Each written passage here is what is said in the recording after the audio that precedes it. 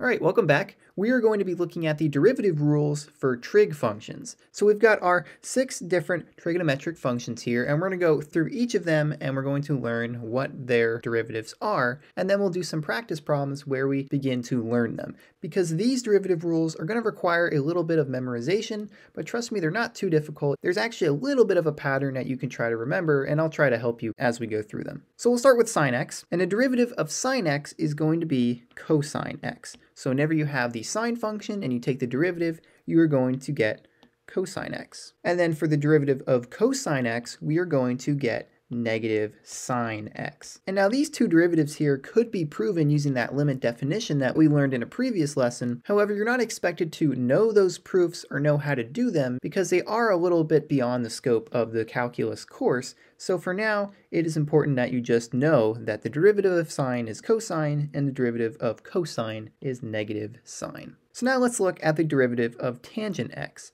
and that is going to be secant squared x. And then a derivative of secant x is going to be secant x times tangent x. And so I like to kind of pair these two together, just like how I pair sine and cosine together, right? We know that the derivative of sine is cosine, and the derivative of cosine is going to be negative sine. You can kind of think of those as a pairing. They're similar in their derivatives, and it's kind of the same deal for tangent and secant. Notice how tangent and secant both have each other in their derivative. So that's kind of something you want to keep in mind as you're trying to memorize these. And then we have the derivative of cotangent, and that is going to be negative cosecant squared x, and a derivative of cosecant here is going to be equal to negative cosecant x times cotangent x.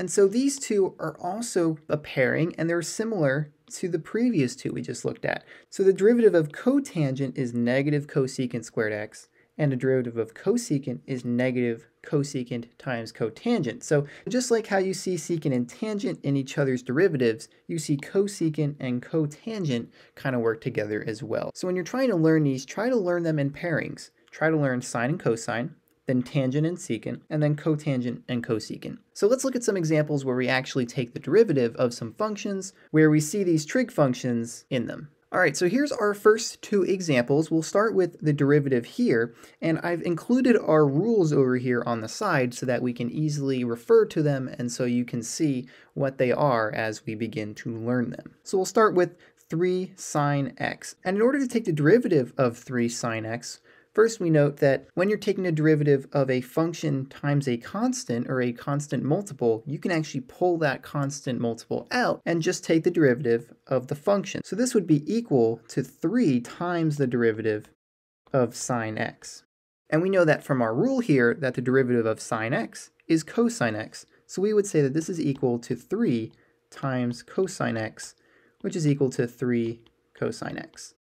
So going forward, I'm not going to show this step, but this is kind of important to realize that when you have a constant multiplied by your trig function, all you have to do is multiply it by your derivative of that trig function. So now let's look at the derivative of negative 5 times cosine x. Well, we already know that this is going to be equal to negative 5 times whatever the derivative of cosine x is. And so if we go over to our rules here, we see that the derivative of cosine is negative sine x. So this is going to be multiplied by negative sine x. And so now we can simplify. We have a negative here and a negative here. So those are going to cancel out, and we're just going to have positive 5 times sine x. And that would be the derivative of negative 5 times cosine x. So now let's look at two more examples here. We have the derivative of pi times tangent x plus 4 times secant x.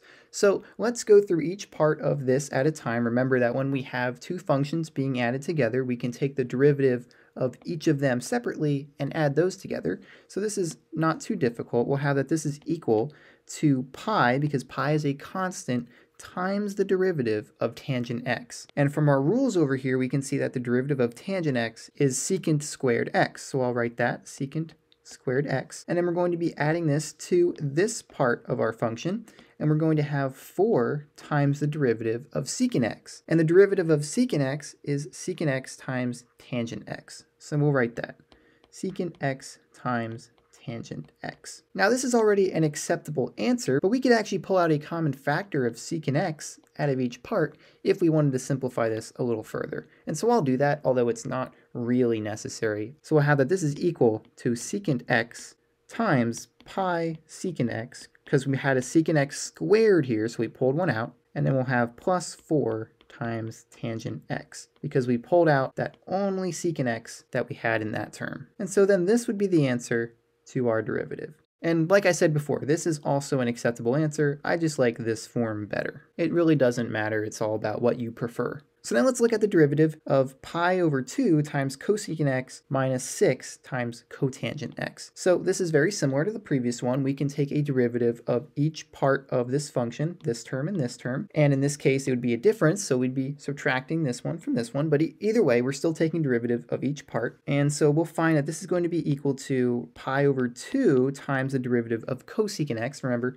pi over 2 is just a constant, so we can pull out that constant multiple and multiply it by the derivative of the function it's being multiplied by. So let's look at our rules here. We see that the derivative of cosecant x is negative cosecant x cotangent x. So I will write negative cosecant x cotangent x, and then we will subtract 6 times our derivative of cotangent x. And our derivative of cotangent x is negative cosecant squared x. So we'll have negative cosecant squared x. So now let's simplify. We'll have that this is equal to negative pi over 2 times cosecant x cotangent x, and then we have two negatives here. We have a negative 6 and a negative cosecant squared x, so those negatives are going to cancel, and we're going to have a positive 6 cosecant squared x. Now, we could do what I did last time where I pulled out that common factor. Last time it was secant x, but this time it would be cosecant x. Do you see how there's a cosecant x in each term? Now, I don't have enough space to do it, so I'm not going to do it this time. So I'll just show you that this would also be an acceptable answer. We don't have to pull out that common factor. I just like to do it to simplify my answers. But in this case, this is a totally acceptable answer, and that would be the derivative of that function up here. All right, time for a little bit of a different example here. We have that the function of theta is equal to theta squared plus sine theta, and we want to know what is the slope at pi on our function. So this is just a good reminder that we're not always going to be taking the derivative of x as our variable. We can take derivatives of other variables too.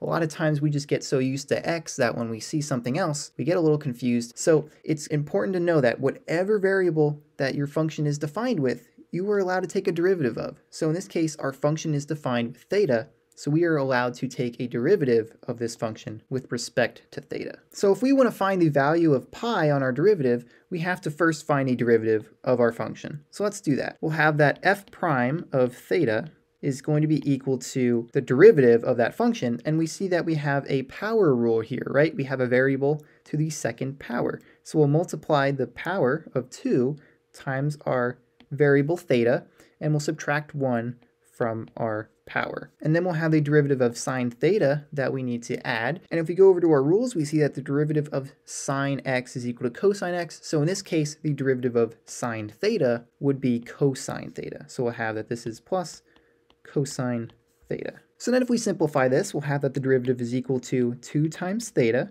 plus cosine theta. So now we just have to evaluate this at pi and we'll find our answer.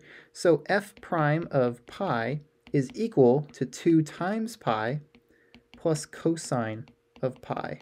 And we know that cosine of pi is negative 1, and so this is going to be equal to 2 pi minus 1. And that would be the value or the slope on our function at the value theta equals pi. All right, for our next example, we're going to look at the function x plus tangent x minus cosine x, and we just want to know what is the derivative of that function. That is what this notation means right here. What is the derivative, or f prime of x, of our given function? So let's take the derivative. We'll have f prime of x is equal to the derivative of x, which we know is just going to be 1, right? We have that rule that when we take a derivative of a variable that's to the first power, it's just going to be equal to the coefficient of that variable, which is just 1. And then let's look for our derivative of tangent x, and we see that it is going to be secant squared x, so we'll have plus secant squared x, and we're going to be subtracting the derivative of cosine x. So we'll have minus, and I know from our rules that the derivative of cosine x is negative sine x. So this will be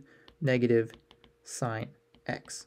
Okay, so now let's simplify. We'll have that this is equal to 1 plus secant squared x, and these two negatives are going to become a positive, so we're going to have plus sine x. And that would be the answer to this derivative. All right, now let's look at the example y equals 3 over x minus 8 times cosecant x. And we want to find a derivative of this, or y prime. But before we take our derivative, I'll notice that we're going to have a power rule here, but it's a little difficult to see how we would do it because our x is in the denominator of a fraction. So I'm going to first redefine our function here. So I'll have that y is equal to 3 times x to the negative first power, and that's going to help us be able to visualize our power rule a little bit better and then I'll just continue to rewrite this with 8 cosecant x. All right, so now we're ready to take our derivative. So we'll have y prime is equal to 3 times our exponent, negative 1, times x, and then our exponent, minus 1, minus 8 times our derivative of cosecant x. So let's look over here. We see that derivative of cosecant x is negative cosecant x cotangent x. So we'll have negative cosecant x cotangent x. And now let's simplify we'll have this is equal to negative 3x to the negative 2 power, and then we'll have a negative 8 and negative term here, so this is going to be plus 8 cosecant x cotangent x. And then finally, to finish off our simplification, we just have to take our negative power and put it in the denominator so it is a positive power. So we'll have that this is equal to negative 3 over x squared plus 8 cosecant x cotangent x. And that is the derivative of our function. All right, now let's look at y equals 9 cotangent x minus 2 times the square root of x plus 5 times secant x. And in this case, we want to find the derivative in this form. When we have a function defined with y, we can also represent that derivative with dy dx. We are taking a derivative of y with respect to x. So just like we do with the last one, I'm actually going to rewrite this function first because I see we have a square root of x that I would rather write as x to the 1 half power so I can more easily see my power rule when I go to take my derivative. So this is going to be y equals 9 cotangent x, that's not going to change, minus 2 x to the 1 half power. And then we'll add our 5 secant x. All right, so now we are ready to take our derivative. So dy dx is going to be equal to 9 times the derivative of cotangent x which we can see from our rules is negative cosecant squared x. So we'll have negative cosecant squared x minus 2 times our exponent, 1 half, times x to 1 half minus 1. Remember, we always subtract 1 from our exponent with our power rule. And then we'll have plus 5 times the derivative of secant x, which we can see is secant x tangent x. So now let's simplify. We'll have that this is equal to negative 9 cosecant squared x. And then this negative 2 and 1 half is going to simplify to just negative 1, right? Because 2 times 1 half is 1. So we'll have minus x to the negative 1 half power. 1 half minus 1 is going to give us negative 1 half. And then we'll have plus 5 secant x tangent x. So then to finally simplify this, we know that our two trigonometric functions, those are good, but we just want to change this to have our power in the denominator so it's positive. and we also know that when we do that, we'll have x to the 1 half power, so that will just become the square root of x there in the denominator. So let's rewrite this one more time, and we'll have that this is equal to negative 9 cosecant squared x minus 1 over the square root of x plus 5 secant x tangent x. And that would be the answer to this derivative. All right, finally, let's look at a more complex example. And here we are going to determine the points where the function of theta equals theta plus 2 cosine theta has a horizontal tangent line on the interval 0 to pi. And remember, a horizontal tangent line is just where the function has a slope of 0. So all we have to do in this scenario is take a derivative of our function and then set it equal to 0 and solve for theta. So we'll have f prime of theta is equal to the derivative of theta, which is going to be 1, plus 2 times the derivative of cosine, which we know is negative sine theta. Remember, over here we have the derivative of cosine x is equal to negative sine x, but we're not using x in this equation, we have theta, so it's going to be negative sine theta. So then let's simplify this. We'll have that this is equal to 1 minus 2 times sine theta, and now let's set this equal to 0 and solve for theta, and that will tell us where our function's slope is 0 so that we can find the points where there are horizontal tangent lines. So we'll subtract 1 from both sides and we'll have negative 1 equal to negative 2 times sine theta, and then we can divide both sides by negative 2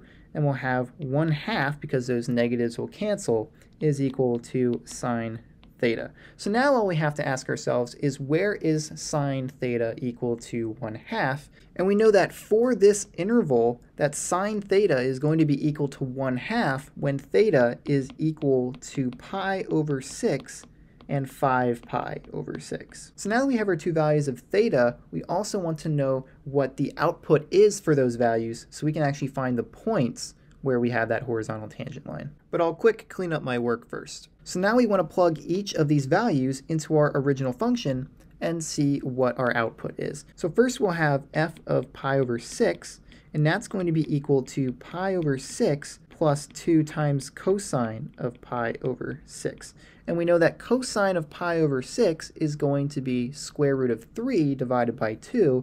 So this is going to be equal to pi over 6 plus 2 times the square root of 3 divided by 2. And we can simplify this because this 2 and this 2 will cancel, and so we'll have that this is equal to pi over 6 plus the square root of 3. So that would be our y output for pi over 6. And then if we plug in 5 pi over 6, we'll have that this is equal to 5 pi over 6. Remember, we're plugging into this function here, and that's going to be added to 2 times cosine of 5 pi over 6 and that will be equal to 5 pi over 6 plus 2 times cosine of 5 pi over 6, which we know is negative square root of 3 divided by 2. So we'll have negative square root of 3 divided by 2. Once again, those 2's will cancel, and so then we will have that this is equal to 5 pi over 6 minus the square root of 3. So now we see that our points where our function has horizontal tangent lines going to be the coordinates pi over 6 comma pi over 6 plus the square root of 3 and 5 pi over 6 comma 5 pi over 6 minus the square root of 3. So I'll quickly write those so we can see them visually and then we can wrap this lesson up. Okay, so we found that our two points were pi over 6 comma pi over 6 plus the square root of 3 and 5 pi over 6 comma 5 pi over 6 minus the square root of 3. So that would be the answer to this particular problem we wanted to know where the slope was zero, or where we have horizontal tangent lines on this function, and we found those two points right here. All right, so that's a good overview of how to find the derivative of trig functions and how to use them for different scenarios. If you have any questions, feel free to leave those in the comments and I will try to answer them. But if you don't and you just want to see some more examples, I'll have an example video linked at the end of this video that you can click on as well as in the description below. But for now, that's all I have, so I will see you next time.